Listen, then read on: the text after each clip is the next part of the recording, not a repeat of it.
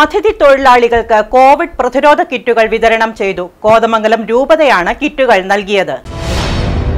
കോവിഡിന്റെ അതിതീവ്രമായ വ്യാപനം തുടരുന്ന സാഹചര്യം മുൻനിർത്തിയാണ് കിറ്റ് വിതരണം. കാരിത്താസ് ഇന്ത്യയുടെ സഹകരണത്തോടെയാണ് അതിഥി തൊഴിലാളികൾക്കിടയിൽ പ്രതിരോധ കിറ്റുകൾ വിതരണം ചെയ്തത്. കോതമംഗലം രൂപത സോഷ്യൽ സർവീസ് സൊസൈറ്റി സംഘടിപ്പിച്ച ചടങ്ങ് കോതമംഗലം ബിഷപ്പ് ഹൌസിലായിരുന്നു. പ്രതിരോധ കിറ്റുകളുടെ രൂപത തലത്തിലുള്ള വിതരണോദ്ഘാടനം Antony John M L A നിർവഹിച്ചു പ്രത്യേകിച്ച് നമ്മുടെ ഈ കോവിഡിന്റെ നാളുകളിൽ അതിഥി തൊഴിലാളികൾ എന്നുള്ളത് പ്രത്യേകിച്ച് കേരളത്തെ സംബന്ധിച്ച് പരിശോധിക്കുമ്പോൾ നമ്മുടെ നാടിന്റെ നിർമ്മാണ മേഖലയിൽ ഉൾപ്പെടെ ഏറ്റവും ബുദ്ധിമുട്ടേറിയ ജോലികൾ ചെയ്യുന്ന ഉദാഹരണമാണ് തൊഴിലാളികൾ അപ്പോൾ അതുകൊണ്ട് തന്നെ അവർക്ക് ആ നിലയിലുള്ള പരിഗണനയും പിന്തുണയും നമ്മുടെ പൊതുസമൂഹം കൊടുക്കേണ്ടതുണ്ട്. ഇപ്പോൾ ഗവൺമെന്റിന്റെ നിരവധിയായിട്ടുള്ള സഹായങ്ങൾ പ്രത്യേകിച്ച് അതിഥി തൊഴിലാളികൾക്ക് കൊടുക്കുന്നത് തന്നെയാണ് മുന്നോട്ട് പോകുന്നത്.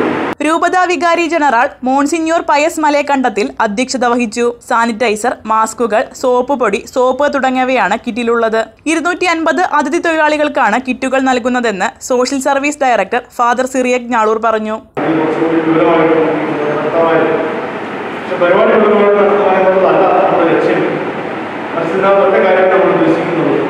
Kothamangalam municipal vice chairperson Sindhu Ganesh municipal ആരോഗ്യ standing committee chairman K V Thomas municipal councillor Nisha Davis programme കോർഡിനേറ്റർമാരായ Jibin George Johnson Karukappillil എന്നിവർ പ്രസംഗിച്ചു.